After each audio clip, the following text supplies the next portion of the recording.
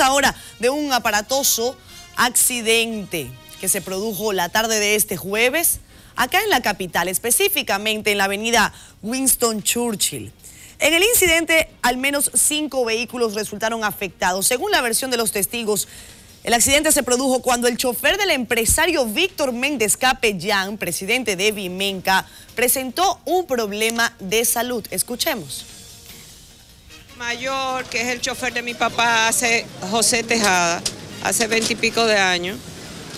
Iba con mi papá en la jipeta que iban a la peluquería y le dio un derrame, perdió el control. Yo solamente sentí, el impacto cuando yo le di el vehículo delante y cuando me dieron por atrás. Fue lo único, o sea, fue algo muy rápido.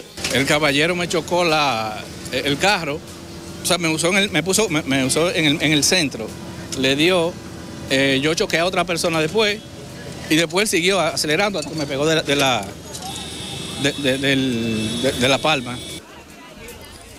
Bueno, hay que destacar que no solo salió ileso del accidente el empresario Víctor Méndez Capellán, también eh, la joven que veían declarando allí, ella está embarazada, estaba por supuesto nerviosa y recibiendo la atención de las autoridades. Esta situación provocó fuerte taponamiento en la avenida Winston Churchill esta tarde.